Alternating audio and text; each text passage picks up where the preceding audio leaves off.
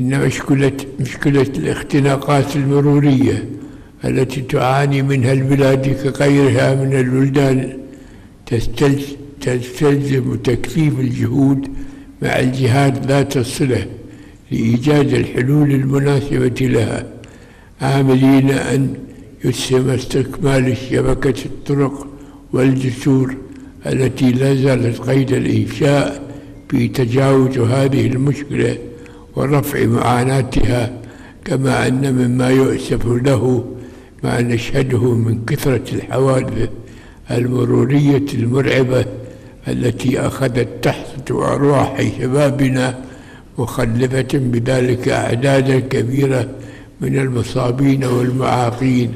وهو الأمر الذي يستدعي اتخاذ كل ما يلزم